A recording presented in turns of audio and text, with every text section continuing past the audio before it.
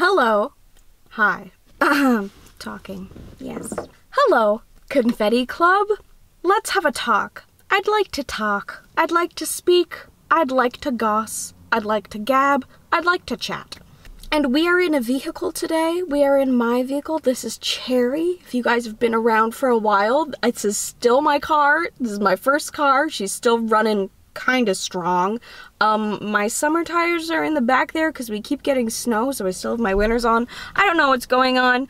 Um, we are having a cherry chat today. I guess I can still call them that because, yeah, I did like a couple of these uh, a while ago, many moons ago, a couple years ago. And it just, I've been driven by the forces that be lately to get in my goddamn car, drive to a sunny, rural, abandoned church parking lot. I'm sorry, sweet little Baptist church. This is maybe not the most God honoring thing. yeah, I needed to drive to a field and talk to you about my feelings because there's lots of them. And I think we're all feeling it. And I want to just.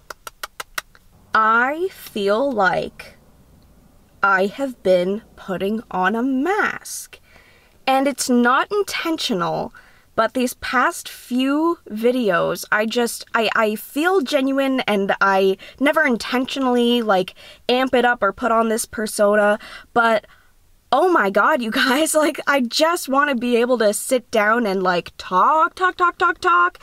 And I, I've been getting some comments. I feel like the only comments that really stick with me are the the negative criticisms that I agree with.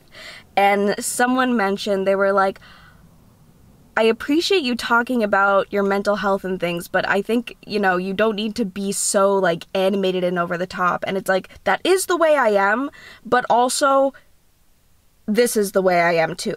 Hi, in a field in my car. I've just been super off and more off than usual.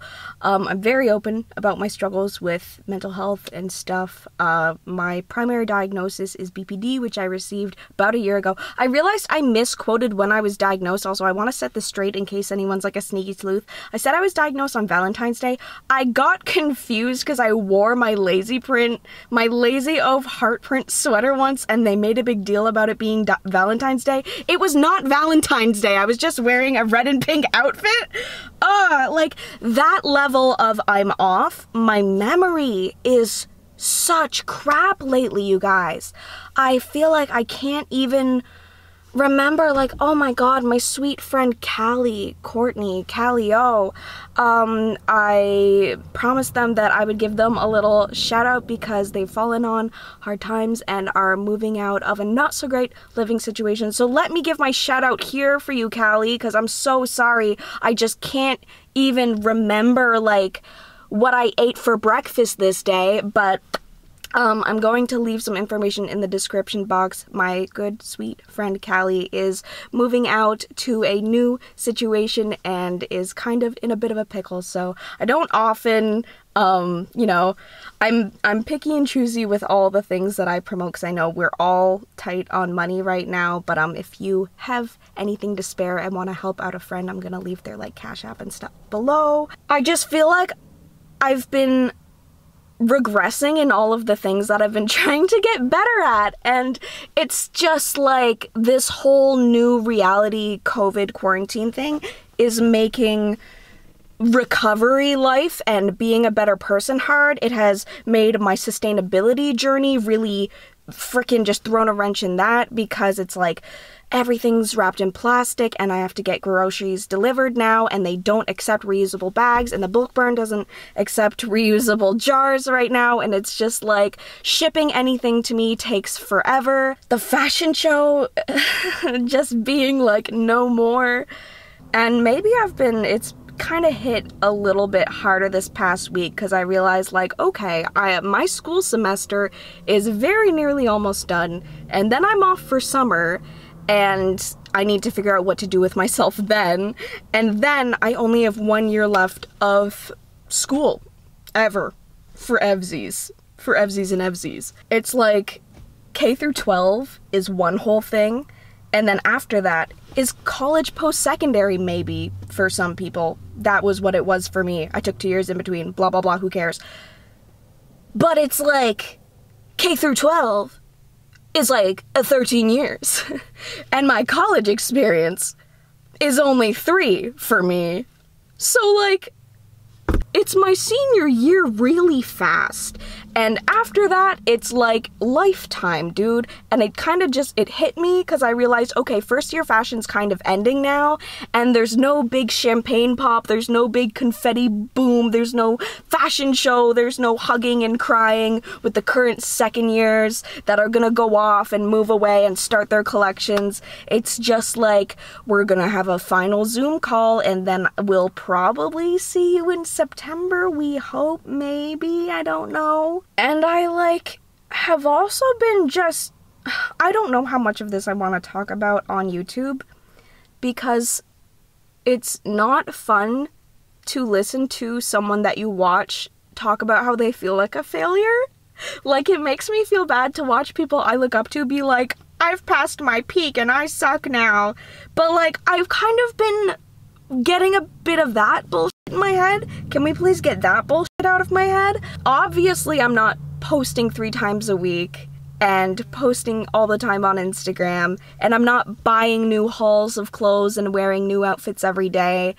And I'm just not creating as much content, but uh, it's like I straight up the energy and brain power and time and just effort and energy that it takes now, it takes so much more than it used to, dude. I literally feel like I'm 80 years old. Or maybe it's because we're in the middle of a global pandemic and I'm in flight or fight constantly, and my fight, flight, fawn, freeze is freeze, so I've been dissociating for five minutes in between three minutes of every 15 minute task, and it's just like I'm running in slow motion. I am the YouTube player with it on like 0.25, mom. And I don't like forgetting calls with my friends, and I don't like missing messages, and I don't like just being so distant with everyone. But I, I, I don't have the energy to look at my inbox sometimes, and I don't have it just sometimes I look at the app for my Gmail or the Messenger app and I actually have to look away because I, I, I, just get a lurch of nausea. And I actually have to distract myself with something else or I'll throw up. My anxiety around instant messaging is so irrational, and it has always been this way forever.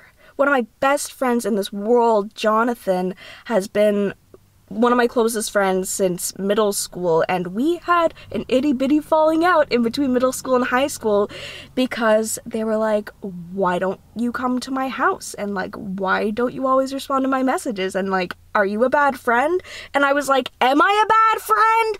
I don't want to be a bad friend. But it never got easier for me. Like, I still just panic. I sweat. And I just, like, I can't handle the immediacy of this digital communication life. And, and that's all we have now right? I, I don't get the relief of going to school and seeing people in person and talking to people in person and using my body language and my voice and my tone and, and, and it's just oh my god I'm I've always struggled with communication. And if you're watching this and I haven't replied to to a call or a message, I really hope you know that I love you. Oh my god. It's just like I have lost friends this way, but it doesn't get easier for me to keep up. It's just so frustrating. So I've I've started just kind of trying to communicate my my struggle with it and saying, you know, please like can, can we set up like an appointment to call like if if someone calls me or messages me out of the blue like it just oh my god dude whoo I will throw my phone out the window and pretend I never had an iPhone. It sends me into a panic and it's it's irrational. And I know it's irrational and I just that's where my rationality stops. What else can we talk about in this in this little pink car of tears? It's been really hard to adapt to everything being digital. and online, for sure. Which is weird because my life is online and my job is the internet, and you'd think that I'd kind of be like, great, I just get to sit in my house and take Instagram pics and, you know, play Animal Crossing and be a vlogger, but, um, no, mom. I definitely, definitely want to touch and smell. Touch and smell? Ooh. I definitely um, was starting to have a long longing, a long longing.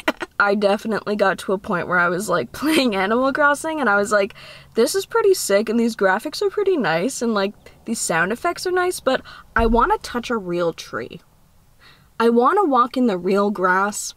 I'd like to plant a real flower. And some of y'all probably have been like going for walks and drives and, and smelling the earth since this thing started, but I really haven't.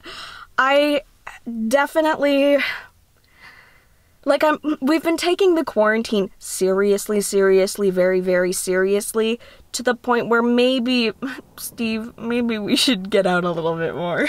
Cause even like I've gone for a couple of drives and that's been starting to be helpful. The drive to this mysterious uh, field was nice. Just God, like wind and hair, and looking at other buildings, other people, dog, duck, plane, you know? It's still happening. Still dogs, still ducks, still planes. Uh, planes are a little complicated. Dogs, ducks, dogs, ducks. It is very, very hot and sweaty in this car. I'm going to, this is gonna be the time limit on this is how long can I stand the heat. I'm sorry if I look a mess, but um, hey, I put on my makeup, I put on an outfit, I drove in my car, I found a spot, um, and I spilt the pixie tea.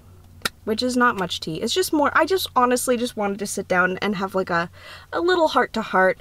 Uh, maybe I'll put the comment that suggested a chill mental health drive in my car style video.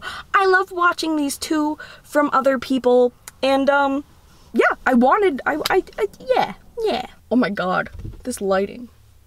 Hello. I'm definitely not the worst. Like I'm not fully maybe I'm a little bit losing it, but like I'm I'm happy on a day-to-day -day basis.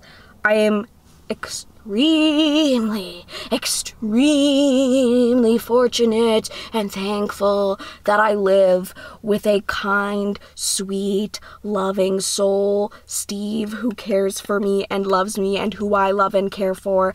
I think we have a pretty good system, a beautiful ecosystem in the Pixie Pad townhouse where we kind of take turns um, losing it and comforting one another with this whole weird reality. So, um, Steve, I love you. Thank you for keeping me sane. Um, there's no one else I would rather be quarantined with. Um, I do miss my mom, but my mom and I have started doing weekly Making the Cut watch parties, mom. Ah, Making the Cut with Tim Gunn and Heidi Klum. I'm really sweaty, I need to go. Okay, maybe, uh, yes yes, we're reaching a level where like my hair is becoming moisturized when it didn't need to be. I love you guys very, very much. Thank you for watching this. Um, please give me your feedback. I haven't done a video like this in quite a long, long time. So let me know if you vibed, if you chilled, or if this kind of stream of consciousness, heart-to-heart chit chat style of vlog is just too personal for you. I don't know. Do you feel like you're in the passenger seat? Let me out! Anyway, I love you guys very, very much, and I'll see you in the next video, which is not this one, because this one's over. Bye!